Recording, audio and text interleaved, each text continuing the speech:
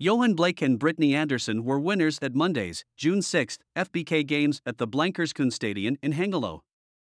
If you have not yet subscribed to our channel, please hit that button to stay updated with the latest happenings in track and field.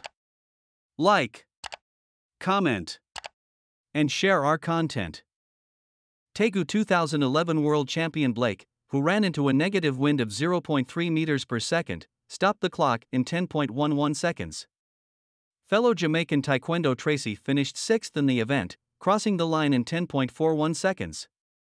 American Kyree King finished second in 10.23 and Emile Erasmus, third in 10.25. Britany Anderson continued her progress in the women's 100 meters hurdles. She ran 12.51 to beat Americans Nia Ali, 12.69, Tonea Marshall, 12.70, and Tia Jones, 12.71. Devynne Charlton of the Bahamas ran 12.88 for fifth.